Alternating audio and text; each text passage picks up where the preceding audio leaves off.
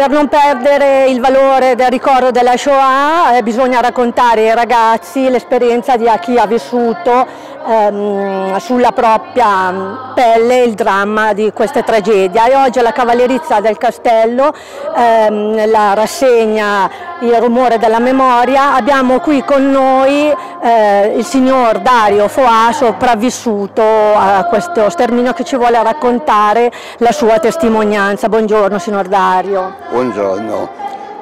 Ma io tutto sommato sono molto fortunato perché durante le leggi razziali vivevo a Napoli, dove mio nonno era rabbino capo di quella piccola comunità ebraica. Per cui eh, per mia fortuna non siamo stati deportati perché a Napoli i tedeschi non hanno fatto a tempo a iniziare a fare le vetate che poi certo. partivano da Roma perché furono cacciati dalla popolazione napoletana che insorse e li cacciò alla fine di settembre del 43. Signor Dario, lei quanti anni aveva? Ah, quando hanno promulgato le leggi razziali avevo sette anni. Sette anni. Andavo alle scuole elementari, andavo in prima elementare, dovevo andare in seconda e me lo proibivano.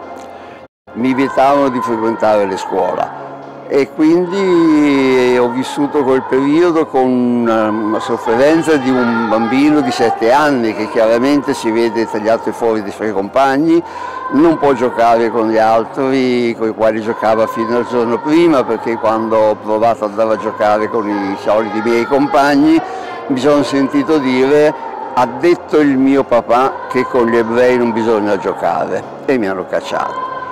E questo eh, no, non è certamente paragonabile alle, alle, atrocità dei campi di sterminio, ma entriamo nella, nel modo di ragionare di un bambino di sette anni che si ritrova improvvisamente additato come diverso e cacciato dalla, dal suo ambiente praticamente. Ecco adesso signor Fa lei praticamente porta da diversi anni le sue testimonianze nelle scuole come vediamo anche oggi e i, i bambini cosa le chiedono quando rivivono questi momenti che loro purtroppo li leggono sui libri ma le leggiamo sui libri ma le testimonianze sono importanti, le, cosa le chiedono?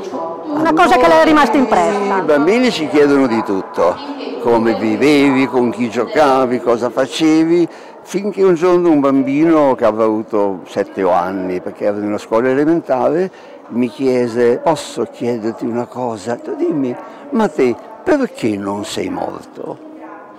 E allora a quel punto gli ho detto perché se io fossi morto non avrei potuto raccontarti questa storia. E questo bimbetto piccolo piccolo che fece, adesso ho capito cosa è successo, grazie. Grazie, grazie sì. mille. E abbiamo qui con noi la signora Aida.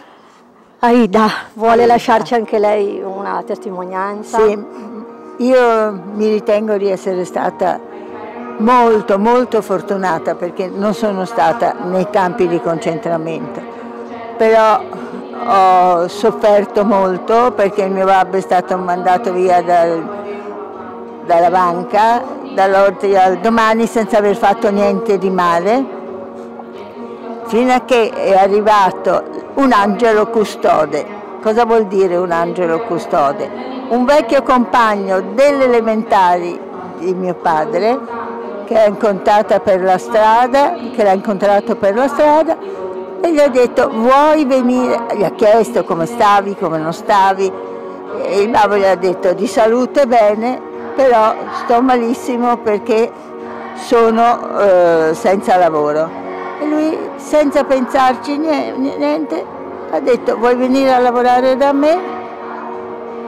Il babbo è rimasto un po' così, ha detto certo, e da quel momento lui è stato il nostro angelo custode. Questo signore si chiama Vasco Borgogni, si chiamava Vasco Borgogni e ci ha seguito fino al... poi siamo... è una storia un po' lunga, un po' movimentata. Il babbo ha incominciato a lavorare, però a Siena era difficile spostarsi per lavorare e andare nelle altre città e hanno deciso che si doveva andare a Bologna. A Bologna siamo stati per un po' di tempo, poi l'angelo custode ci ha fatto sapere che era meglio cambiare aria. Certo. E siamo andati a Teglio, a casa del, dove era sfollato lui con la famiglia, a casa di Vasco. E siamo stati lì fino a quando il babbo e la mamma non sono scesi a Como e hanno saputo del, ehm, del, che nel lago Maggiore stata, era stata buttata tutta una famiglia. Dopodiché c'è tutto Grazie. un vissuto che è troppo lungo raccontare. La, la, la ringraziamo, grazie mille, Niente. grazie, grazie, grazie. A voi, a voi grazie.